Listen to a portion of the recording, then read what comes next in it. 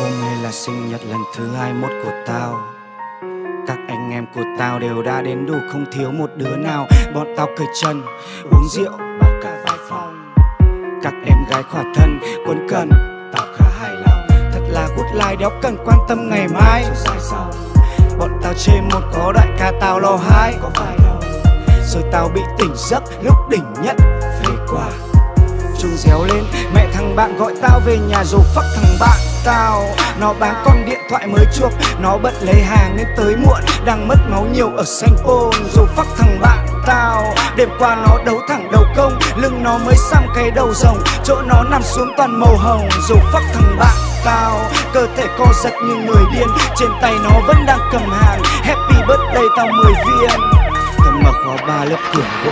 Không biết trời đã sáng chưa Và và tao đóng lít hai một giờ. Khi khi bên ngoài trời vẫn đang mưa. Thôi, yêu hôm đi Hẹn bố mà tới đi. Tao đang tới đây. Ok ok. Đợi tao đợi tao nha đây đây Ok. Happy birthday. Happy birthday.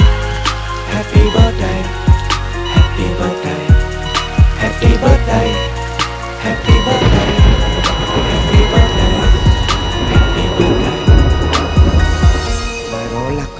Có lẽ sau này tao không bao giờ quên. Những bài rap mà tao viết ra sau đó đéo có ý nghĩa gì hết.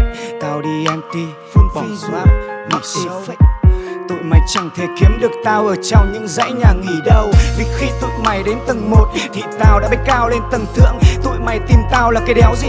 Mày nhìn xem tao có cần tượng. Khi xung quanh bố mày phun hiệu ứng chấp hết mẹ tụi mày cả triệu chứng. Bố mày xoay lúc quấn vạn vật bên trong tác bản. Dốc Chúng mày thì khác bản gốc vì não chúng mày toàn bản một thật tàn khốc. Yo boy lên đây với tao coi Tao nhét. Từng tờ vào cối một mà đeo có. Thằng chó nào chối được, Cả mấy con chó săn lời nhác. Muốn được có ăn từ người khác, Tao xoay chúng mày thành vụn như sa man Tao quấn chúng mày thành điếu cần gan già, Đốt chúng mày và Nốt chúng mày thành. Khói trong phổi tao, chúng mày có đói ăn bòi tao. Tao hút nhiều quá bị khan giọng Nhưng đâu quan trọng khi đồ tao đang dần tan hết. Cũng đã lúc bọn mày phải cút hết, không một dấu vết. Tao bước lên một chuyến tàu. Không ai soát vé và không biết đi đâu.